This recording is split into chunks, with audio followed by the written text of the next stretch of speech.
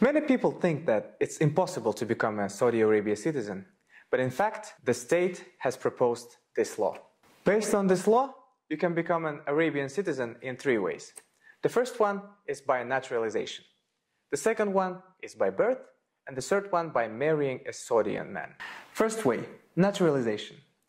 In order to acquire citizenship, individuals must have lived continuously within the kingdom for at least 10 years, five of which as a permanent residence, without going abroad for more than six months. The country also had a rather complicated point system for evaluating candidates.